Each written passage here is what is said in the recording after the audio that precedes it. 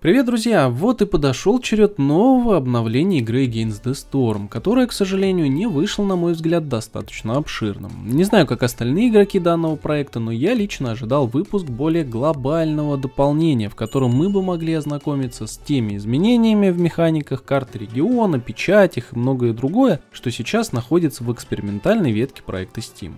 Но, видимо, такое крупное дополнение занимает немного больше времени, чем прошло, поэтому пока мы рассмотрим то, что добавилось и изменилось буквально вчера. Пойдем по порядку того, что мы можем заметить по ходу подготовки и самой игры. Для начала рассмотрим новое меню с историей игровых сессий, которое можно увидеть при обращении к нашей столице.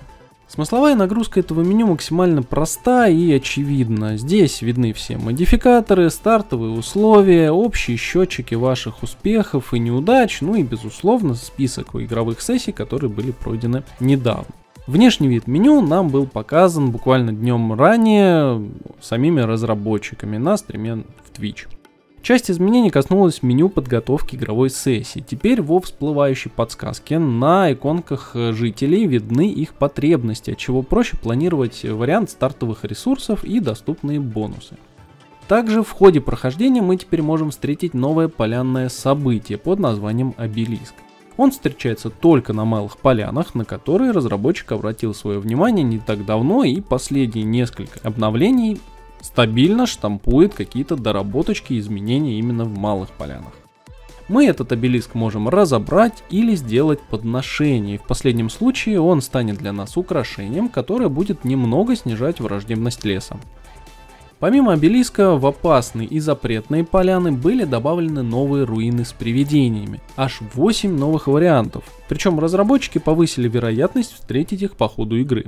Если вы ранее не сталкивались с ними или не обращали на них внимания, то это такие руины, которые немного дороже восстанавливать, но в которых вы получите трехзвездочные рецепты производства или добычи. В последнем обновлении добавили 15 новых краеугольных камней, которые можно приобрести на забытом алтаре. При этом было убрано 12 старых. Как указано в патчноутах, связанные изменения в камнях были с некоторыми техническими ограничениями в работе этой механики, а также простым желанием разнообразить получаемые эффекты, чтобы они не были столь консервативны. Как отмечено в статье Remit Games, в этом обновлении очень много изменений касается существующих механик и ребаланса некоторых компонент игры в целом. В том числе пересмотрели некоторые служебные здания, обновив им эффект, а также добавив некоторым из них теги специализации. Немаловажно, что теперь при отказе от краевых камней появилась у нас и награда, мы теперь будем получать золото, что также отражено в интерфейсе. Также отмечу новую кнопку в верхней части экрана, благодаря которой можно в один клик снять всех дровосеков со своих работ. Через правую кнопку мыши на ней мы назначаем по одному новому дровосеку из первых попавшихся свободных жителей. Для любителей горячих клавиш добавили целое новое меню в настройках игры, где можно будет теперь устанавливать по своему желанию различные горячие клавиши для постройки зданий.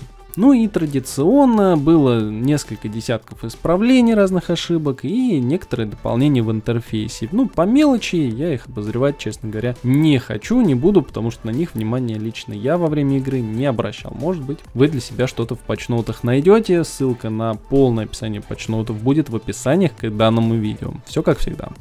Спасибо вам большое за просмотр, друзья. Всем добра, бобра и спокойных буранов.